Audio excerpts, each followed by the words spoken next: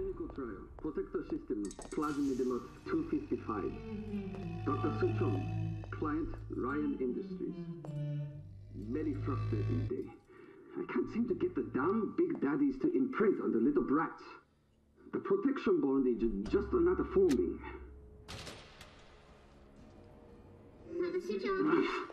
Get away. Maybe if I modify the genetic sequence to. Sure. Uh, sequence to allow for. Get away, you filthy little shit! What? What are you doing? Ich glaube, ich erinnere mich, dass man den tatsächlich in Bioshock 1 oder so genau äh, so gefunden hat. Oh, der Bohrer ist hin. Oh nee, sag nicht, dass er deswegen jetzt stirbt.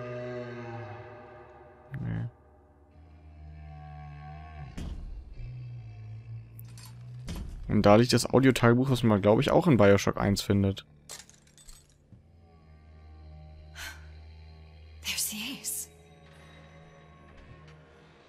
Umschlag öffnen. Man kann das zumindest nicht aufheben und es sieht verdammt so aus wie die Teile in Bioshock 1. Ähm, das ist cool. Oder irre ich mich denn? Und der lag hier gar nicht in Bioshock 1. Hat man den in Bioshock 1 überhaupt jemals gefunden? Ich weiß es gerade wirklich nicht. Aber wir nehmen den Umschlag. This is it. This is the ace in the hole. All the pain and all of the death for this. Äh, und was bedeutet das jetzt? Hm. Die machen es einem aber auch nicht leicht hier. Tja, ich würde sagen, dafür hätte man echt keine Übersetzung gebraucht übrigens. Du hättest mal auf deine Tochter hören sollen, Arschloch. Naja, ich glaube, ihr seid jetzt in besseren und vor allem größeren Händen. Hm. Was steht da? Nix. Okay, ich würde sagen, back to Atlas, why auch immer. Wand betreten. Ich gucke mich erst um. Das scheint sich echt zu lohnen. Na dann. Immer diese Rohrzangen. Die sind einfach schon so fast schon so wie ein Running Gag in dem Spiel inzwischen. Äh, ich glaube, sind wir bei Tannenbaum? Ach du Scheiße. Ah, der Gatheras Garden. Wo man die ganzen Plasmide immer kaufen und upgraden konnte. Ach, schön. Ich muss sagen, der sieht unheimlich aus, als ich eine Erinnerung hatte. Und das da vorne sind wahrscheinlich Atlas und seine Spießkumpanen. Äh, oder besser gesagt, Fontaine und seine Spießkameraden.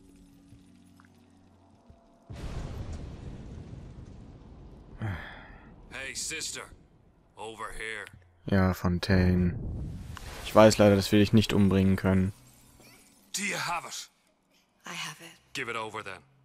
I'm keen to get this brat off me hands. Was bist du denn? Ach, du bist so ein merkwürdiger Splice mit dem Teddy auf dem Rücken. Na, ich glaube, wir haben eh keine andere Wahl, was? Hier, viel Spaß damit und dann schubst er uns wahrscheinlich da runter oder irgendwie sowas.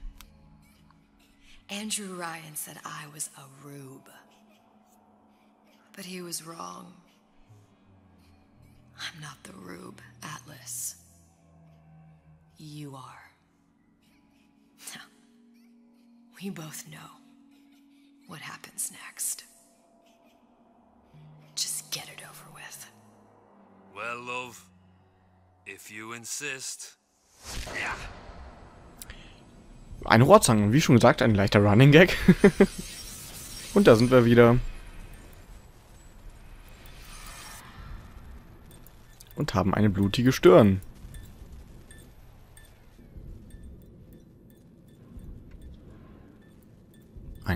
Zug?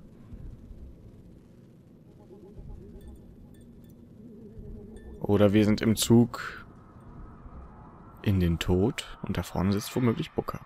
What is this? It's just a bunch of gibberish. Tja. What, does this say, you little whore? Hey, hey, Der hat eine Knarre gezogen. Das ist der Flugzeugabsturz am Anfang, ha? Huh? To Jack. It says, Ah. Would you kindly? Verdammt. We've got the activation phrase. Now all we've got to do is Oh, get that nein. genetic freak of nature on an airplane and Rapture's ours.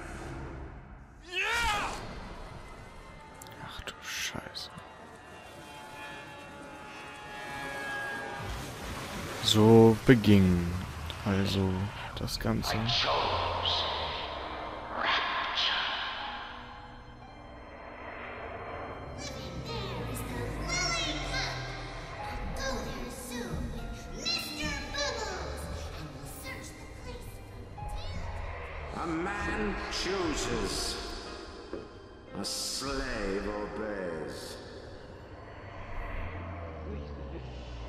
They say to save one life is to save the world entire. It is you who are their savior. Das war gerade Tennenbaum. Das ist das Ende von Bioshock 1. Er hat's umso mehr verdient.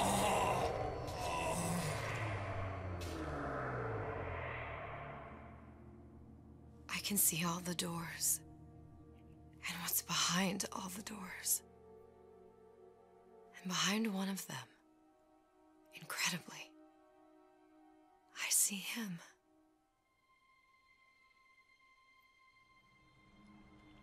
Ist das der aus Bioshock 1 der Held? Ich weiß es gerade nicht. Ich glaube, den hat man nie gesehen.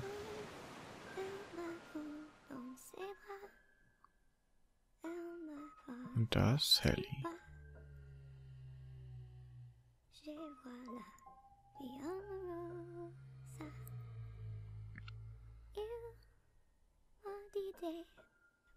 Ja, das ist der Held aus Bioshock 1. Erkennt man ziemlich gut an dem Tattoo am Arm.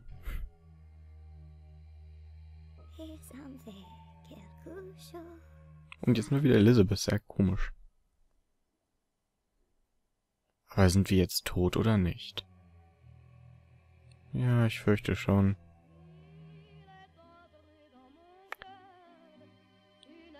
Und ich muss gestehen, ich bin noch verwirrter als jemals zuvor in diesem Spiel.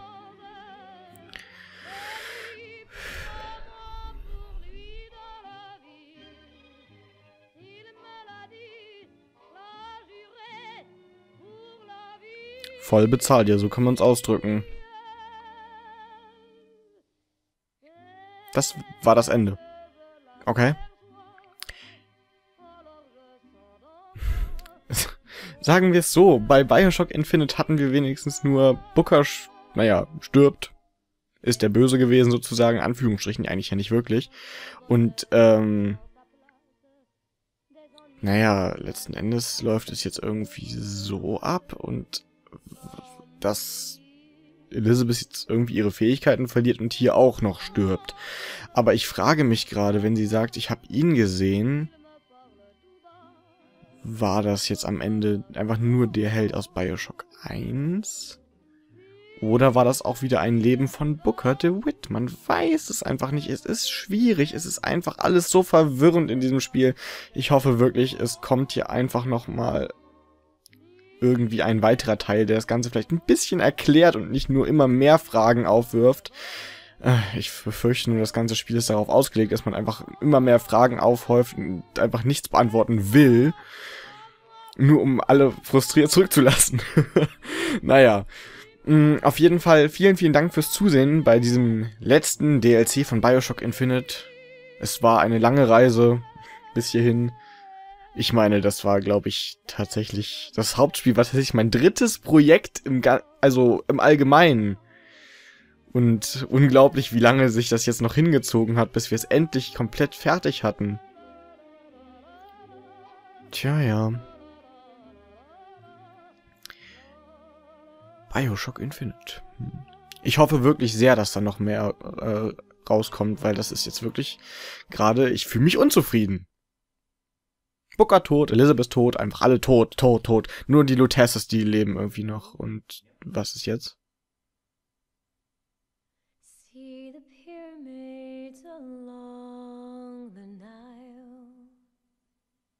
Watch the sunrise from a tropic isle. Just remember, darling, all the while. You belong to me. Hm. See the marketplace in old Algiers. Send me photographs and souvenirs. Just remember when a dream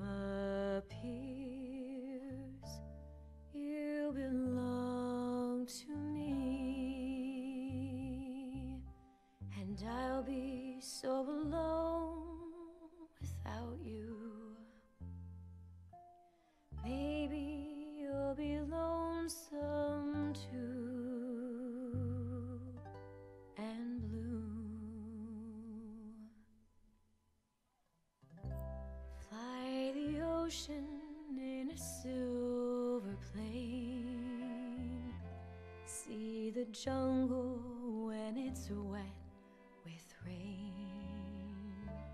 Just remember till you're home again.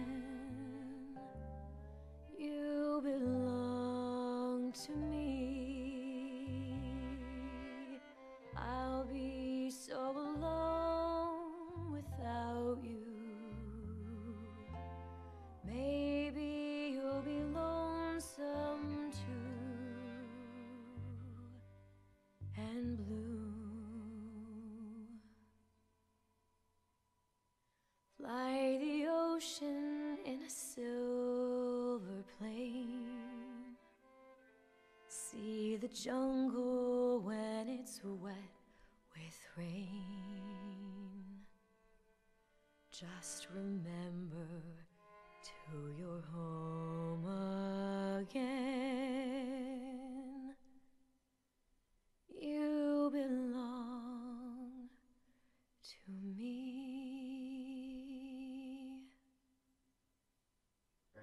Ja? So, wo das jetzt vorbei ist. Ähm, ich habe, muss ja sagen, ich habe gerade ein bisschen drüber nachgegrübelt, wieso Elizabeth ihm am Ende überhaupt gesagt hat, was da das äh, Codewort, äh, also das äh, wären sie so freundlich oder wärst du so freundlich, wieso sie das überhaupt an Atlas weitergegeben hat. Aber ich denke mal, das war sozusagen eben um diesen Helden aus Bioshock 1 überhaupt äh, die Chance zu geben, eben Rapture beziehungsweise eher die Kinder, also die Little Sisters zu retten. Okay, zugegeben, ähm, wer Bioshock 1 und 2 kennt, der weiß, ähm, besser gesagt, Bioshock 1, man kann sowohl die Little Sisters retten, als auch eben nicht. Aber, das heißt, es gab ein böses und ein gutes äh, Ende. Aber ich denke mal, das hat gerade eher auf das Gute angespielt. Und ja, sie kennt ja alle Möglichkeiten, also denke ich, dass sie sich dafür deswegen entschieden hat. Aber ich weiß trotzdem nicht so recht, also. Hm. Vor allem verstehe ich nicht ganz, wieso sie deswegen ihre Gabe aufgeben musste, sozusagen zwischen den Welten zu wandern und sowas. Besser gesagt, alle Türen zu sehen, etc. Hm, Ist etwas, was ich nicht so ganz äh, jetzt verstanden habe, aber vielleicht habt ihr da ja Ideen. Hm. Auf jeden Fall nochmal vielen lieben Dank fürs Zusehen. Nochmal vielen Dank an die Entwickler für diese übertrieben krasse Story, auch wenn ich sagen muss, diese Szene mit der Nadel ins Hirn hätte nicht unbedingt so heftig sein müssen. ja. Ach. Oh, Ich sollte aufhören, mir sowas immer dann wirklich richtig vorzustellen, wie das wäre, wenn ich diese Nadel abkriegen würde und sowas, aber das ist ja egal. Ähm, oh Gott, was ist denn jetzt los? Ah, ja.